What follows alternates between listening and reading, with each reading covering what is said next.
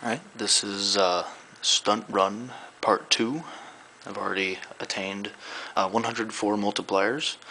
I, uh, am aiming for another uh, 100 and then we'll start a new video, but uh, you know, this is where things start to get a little more tricky rather than just being uh, a little bit more tedious. So, here we go.